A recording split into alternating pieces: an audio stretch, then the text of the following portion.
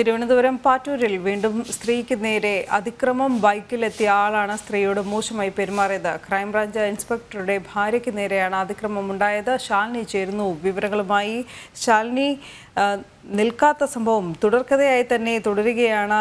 ഈ അതും തലസ്ഥാന നഗരിക്കുള്ളിൽ തന്നെ ഇത്തരത്തിൽ സ്ത്രീകൾക്ക് നേരെയുള്ള അതിക്രമം. എന്തൊക്കെയാണ് വിശദാംശങ്ങൾ? ഇത്തരത്തിലൊരു ദാരുണമായ സംഭവം തലസ്ഥാന ജില്ലയിൽ അരങ്ങേറിയിട്ടുള്ളത്. നമുക്കറിയാം കഴിഞ്ഞ മാസമാണ് തലസ്ഥാന ജില്ലയിൽ സമാനമായി സ്ത്രീക്ക് നേരെ അതിക്രമം നടന്നത്. ലൈംഗിക ചുവയോടെ സംസാരിക്കുകയും ഒപ്പം തന്നെ ലൈംഗിക അതിക്രമം ഉൾപ്പെടെ തിരുവനന്തപുരം പാറ്റൂർ മൂലവിളാകത്തിൽ സ്ത്രീക്ക് നേരെ നടന്ന ആ പ്രതിയെ പിടികൂടുന്നതിന് മുൻപ് തന്നെയാണ് സമാനമായ സംഭവം മൂലവിളാകത്ത് വീണ്ടും സംഭവിച്ചത് എന്നുള്ളതാണ് പ്രധാനപ്പെട്ട കാര്യം.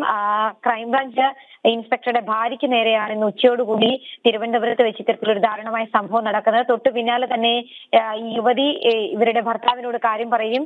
നേരെ പോലീസ് സംഭവത്തിൽ അന്വേഷണം ആരംഭിച്ചിട്ടുമുണ്ട്. നിലവിൽ കന്റോൺമെന്റ് പോലീസാണ് ഈ സംഭവത്തിൽ അന്വേഷണം ആരംഭിച്ചിട്ടുള്ളത്. യുവതി ഈ വാഹനത്തിന്റെ നമ്പർ അടക്കം നോട്ട് ചെയ്തിട്ടുണ്ടായിരുന്നു. ഈ നമ്പർ അടക്കം പോലീസിന് കൈമാറിയിട്ടുമുണ്ട്.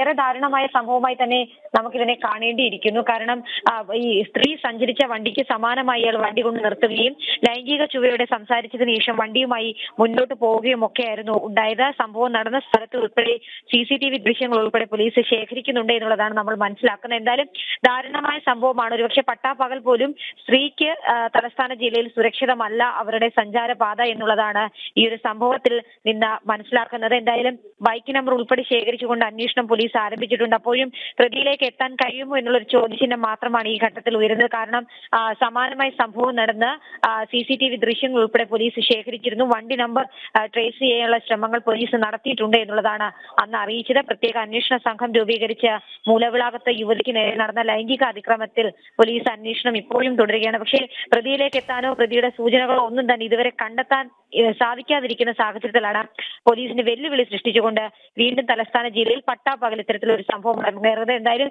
അതിക്രമം ക്രൈംബ്രാഞ്ച് ക്രൈംബ്രാഞ്ച് ഇൻസ്പെക്ടറുടെ ഭാര്യയ്ക്ക് നേരെയാണ് എന്നുള്ളതാണ് ഇതിൽ പ്രധാനപ്പെട്ട കാര്യം. എന്തായാലും അതുകൊണ്ട് തന്നെ പോലീസ് ഇതിൽ കൃത്യമായ അന്വേഷണത്തിലേക്ക് എത്തുമെന്നുള്ള ഒരു ശുഭാപ്തി വിശ്വാസം പങ്കുവെക്കുന്നുമുണ്ട്. അതേസമയം തന്നെ പോലീസിന്റെ അന്വേഷണം കന്റോൺമെന്റ് പോലീസ് തുടരുകയുമാണ്.